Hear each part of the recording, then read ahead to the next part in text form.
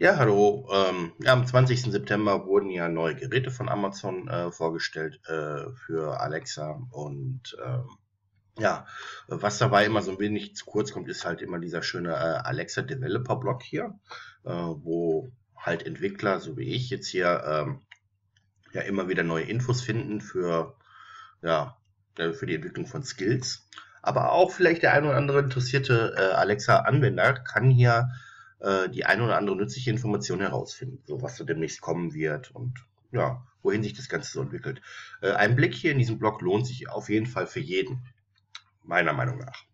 Und äh, ja, was finden wir hier so? Äh, wir finden hier Tipps hier zum Beispiel für Developer, äh, wie man hier äh, seine Skills äh, multiroomfähig macht oder wie man halt seine eigenen als Gerätehersteller seine Geräte die Alexa halt integriert haben, aber nicht von Amazon sind und Alexa ausstattet. Ähm, wie man hier zum Beispiel, äh, die haben ein neues Alexa Connect Kit hier veröffentlicht, wie man halt äh, quasi äh, ja, die Netzwerksicherheit der Firmware äh, weiter verbessern kann. Also schon stark technisch. oder hier für Smart Home Anwendungen oder Programmierer, sorry, äh, ist, äh, sind solche Beiträge immer sehr wichtig. Ne? Also wie man halt diese Smart Home Skill API äh, verwendet und was sie neu beinhaltet. Äh, also äh, mit dieser neuen API, ich habe mich mal da kurz reingelesen, äh, kann man halt jetzt auch äh, ja, komplexere Geräte oder ja ja, Geräte steuern zum Beispiel. Die haben hier äh, einen äh, Standventilator angebracht, der äh, über verschiedene Stufen verfügt und äh, oszillierend äh, den, den Wind quasi äh, im Zimmer verteilt. Das, äh, solche Geräte lassen sich jetzt auch damit steuern. Äh, so Schieberegler. Äh, das waren alles so Dinge, die vorher so gar nicht einfach möglich waren mit der äh, Smart Home Skill API. Was ich sehr spannend finde hier, was demnächst kommen wird, ist hier diese äh, Ask Music äh, Skill API, äh, Musikstreamdienste äh, es deutlich leichter zu machen, äh, Skills äh, für Alexa anzubieten.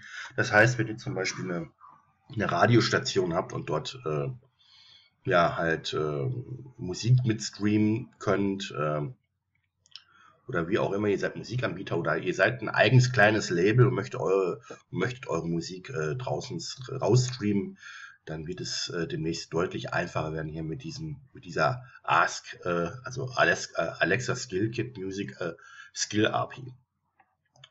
Äh, was haben wir hier noch? genau, da gibt es noch demnächst eine neue, ja, ein neues Developer Kit um Bildschirme zu steuern, also äh, um bildschirmbasierte ja, Produkte halt besser anzusteuern und ja, zum Beispiel Leinwandprojektoren, Fernseher, Tablets, man sieht es hier auf dem Bild. Das wird alles noch ganz spannend werden. Das alles soll sprachfähig äh, werden. Und äh, was haben wir hier? Voice Control of any device in any feature. Genau. Das ist ein neuer. Den habe ich noch gar nicht gelesen. Oh, da muss ich noch mal reinschauen. Ähm, mhm. Was haben wir hier? Ja, und das ist eigentlich so das Ding. Aber hier mal reinschauen. Was ich so richtig geil finde. Äh, Alexa Presentation Language. Das ist so eine Art, ja, HTML für Alexa. Also äh, die Quintessenz äh, dieses ganzen Artikels ist hier, dass hier im Prinzip mit Alexa demnächst auf den Bildschirmgeräten alles möglich sein soll, wie auf einem normalen Rechner. Was mehr oder weniger bedeuten könnte, dass Webseiten an sich überflüssig werden hiermit. Wir können hier äh, Video, Audio, HTML5 soll dort voll unterstützt werden bestimmte Layouts. Äh, wir haben dort als Entwickler die komplette Freiheit, äh, ja, die, äh, die Bildschirme zu gestalten und auch jedes Element auch klickbar zu machen, ähnlich wie halt auf einer App, plus halt der Möglichkeit, das Ganze mit Alexa zu steuern.